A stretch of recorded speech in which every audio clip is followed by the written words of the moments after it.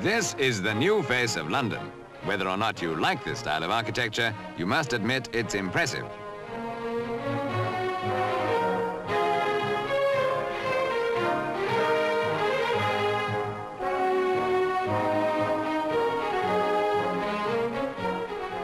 Modern styles, of course, do vary considerably.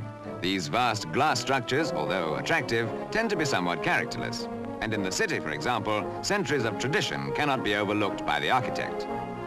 This place, abounding in tradition, is the home today of the world's center of shipping information and the great insurance market. And this is what Lloyd's of London looked like when it opened in 1688 as a coffee house.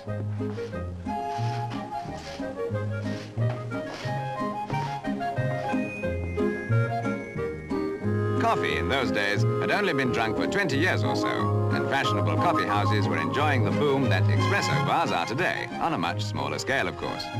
Each one attracted different sections of the community, and Edward Lloyd, situated near the river, catered for ships' captains and merchants. To encourage this custom, he even started an intelligence cum news service, dispatching runners to the docks to fetch the latest shipping news, which was read from a pulpit. As an additional service, he also held auctions.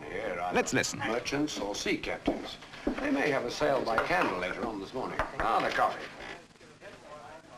Thank you, lad. Ah, the candle. As the flame is extinguished, the last bidder is the person who gets the vessel. Now then, see what you think of this coffee. As you heard, the property being auctioned goes to the man who bids last before the candle goes out. And 25. And 25. And 25.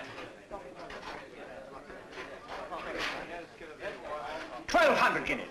Sold to Mr. Durant for 1,200 guineas. Now, you're too late, gentlemen. Because of this concentration of captains and merchants, the insurance brokers of the time began going here instead of from office to office.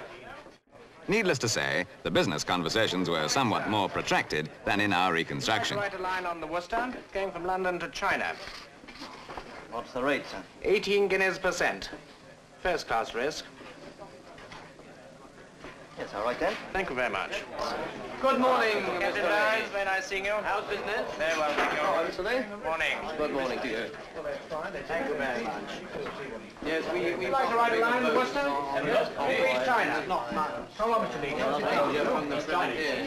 Come sit down, Mr. Lee. London to China and back. How much to finish? A hundred guineas, sir. I'll write you a hundred guineas. Thank you very much.